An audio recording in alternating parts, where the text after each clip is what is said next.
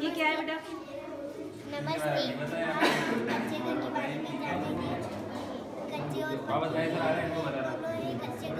थोड़ा ज़ोर से बोलो ना। ये दोनों ये कच्चे घर।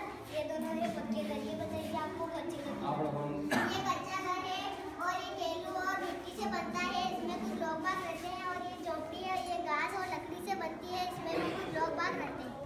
नमस्ते आज जी मैं आपको पक्के घर के बारे में बताती हूँ ये है पक्का घर ये ईट सीमेंट पत्थर व रेत से बनाया जाता है और ये हमें बारिश व तूफ़ान से भी बचाता है और इससे हम ये हमें सुरक्षा हमारी सुरक्षा करता है। किससे तो सुरक्षा करता है